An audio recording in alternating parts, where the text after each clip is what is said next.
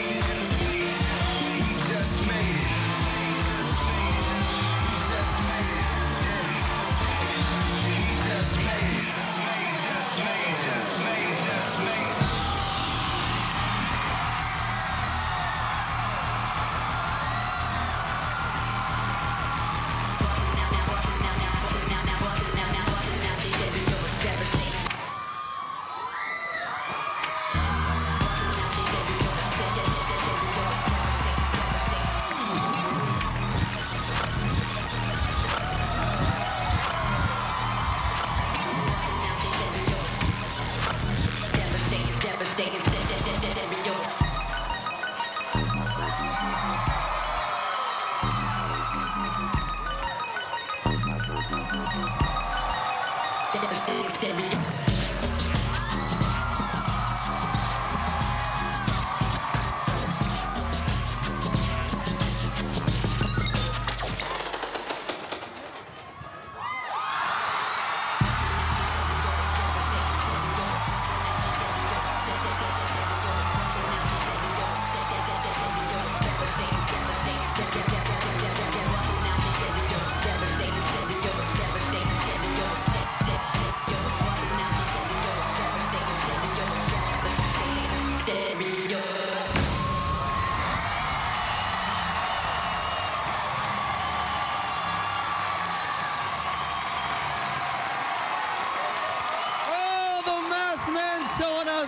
Why they won it all. And a big special thanks to our season six West Coast crews for joining the Jabba Army on stage in the little mini me Jabba.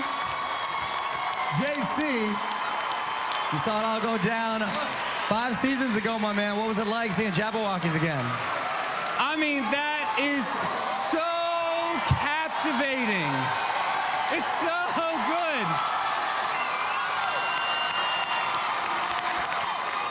It's so good to have you back on the stage. Oh, I want to give a shout out to the baby walkie right there. Honey, you were wonderful.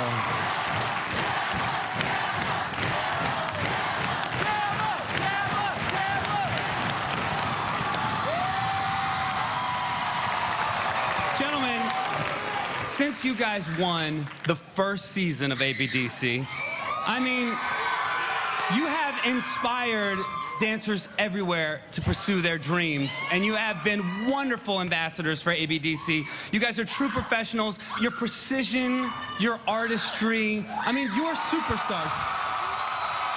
And when a Jabberwocky is on stage, the body language is unlike anyone else. I want to get into a slow-mo because just, just this one little moment where you guys are doing this peel off, it happens so fast. You go from this speed move into that smooth driver style where you hit the floor, boom, and you come back up, boom. I mean, look, you guys are fantastic. I'm glad you're back. Season one was amazing. Jabbawockeez forever. Loved it. Thank you, JC. And just so you guys know, too, they have a hit show at the Monte Carlo in Vegas. So, gentlemen, thank you so much for taking the time to be here in the little girl Jabberwocky, which I didn't know little girls could be Jabbawockeez, but congratulations. Thank you, Jabba. Now, when we return, I Am Me and Iconic Boys will blaze the stage one last time, and then they're going to reveal which crew America chose to be our champions. But first, let's check in and see what's happening backstage at the MTV Movie Awards.